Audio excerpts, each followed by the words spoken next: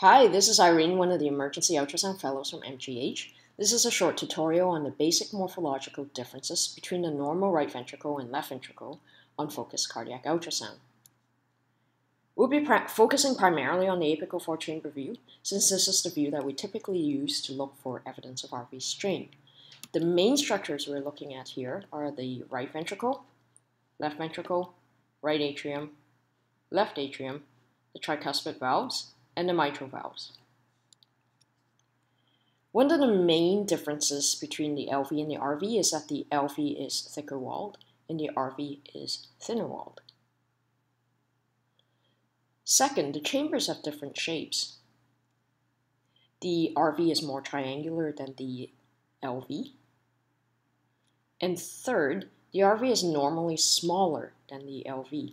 Measuring across the tips of the valves in diastole, a normal ratio of RV to LV is expected to be less than or equal to 0.6.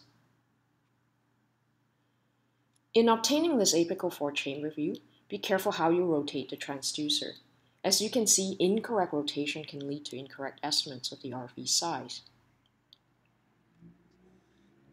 A fourth difference between the RV is, and the LV is where the valves are located. The septal leaflet of the tricuspid valve, shown in green here, is located closer to the apex than the anterior leaflet of the mitral valve, which is located farther from the apex.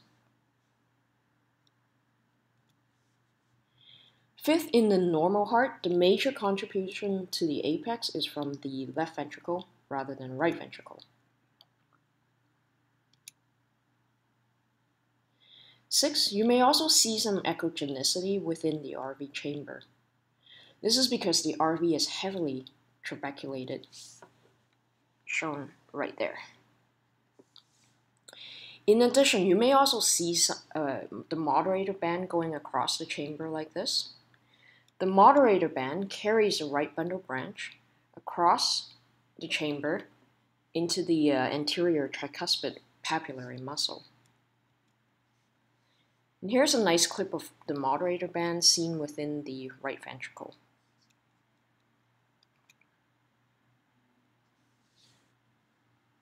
The moderator band differs from things like RV thrombus in that the moderator band tends to go all the way across the chamber, whereas thrombi tend not to go all the way across the chamber like that.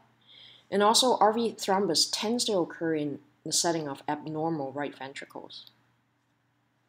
So the top right image here shows a RV thrombus right there, um, and it's in the setting of a dilated right ventricle. The bottom right image, right here shown by the arrows, shows an irregular thickening of the RV free wall due to metastatic lung cancer. Last but not least, Longitudinal shortening and lengthening of the right ventricle tends to contribute more to the RV stroke volume, so the ventricle moves up and down quite a bit. Unlike the left ventricle, where circumferential shortening or squeezing inwards of the ventricle is the primary driver.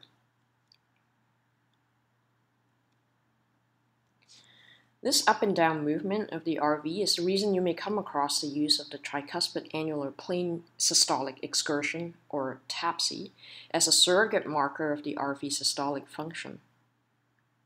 By placing the cursor of M mode along the RV annular plane, you can measure the movement of this annular plane.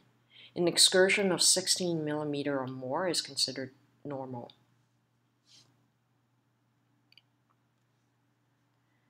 So in summary, these are the seven major morphological differences of the RV. Compared to the left ventricle, the right ventricle is thinner walled, it's more triangular in shape, it is smaller, the tricuspid valve is located closer to the apex than the mitral valves. The right ventricle contributes very little to forming the apex in the normal heart. It has more trabeculations, and you may see the moderator band, which isn't present in the left ventricle. And lastly, it relies on the longitudinal shortening a lot more than it relies on the circumferential shortening. So thanks for watching. Keep checking in back on our website for more tutorials and cases.